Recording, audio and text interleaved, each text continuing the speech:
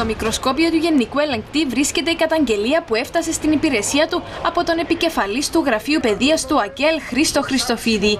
Σύμφωνα με την καταγγελία, ιδιωτικό εκπαιδευτικό κέντρο, του οποίου ο διευθυντής σχετίζεται με στέλεχο της υπηρεσίας εξετάσεων, έκανε το καλοκαίρι τρίμηνα ειδικά μαθήματα για τους υποψηφίους που θα έδιναν εξετάσεις για το νέο σύστημα διορισμών.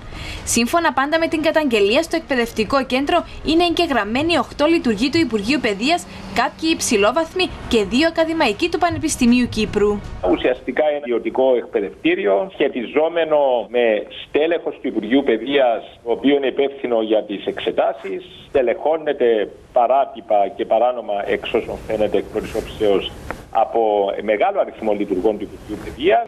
Ο Οδυσσέας Μιχαηλίδης αναφέρει ότι υπάρχουν στοιχεία ότι τουλάχιστον δύο άτομα από τα οκτώ είχαν δηλωθεί και ως εκπαιδευτές. Έχουμε αρχίσει ήδη την ε, διερεύνησή του. Είναι κατά πόσον ε, αυτά τα άτομα, τα οκτώ και τα δύο από το Πανεπιστήμιο Κύπρου, έχουν εξασφαλίσει άδεια από τους εργοδότες τους. Πρώτης όψεως φαίνεται ότι δεν είχαν εξασφαλίσει άδεια. Αυτό, εάν επιβεβαιωθεί, το αναμένουμε και επίσημα, θα σημαίνει θα αρχικά παραπτώματα εκ μέρους των 10 των ε, προσώπων. Παράλληλα, οι δύο ακαδημαϊκοί που προέρχονται από το Πανεπιστήμιο Κύπρου είναι μέλη της Επιστημονικής Επιτροπής που συστάθηκε όπως ορίζει ο νόμος και την παρακολούθηση των εξετάσεων.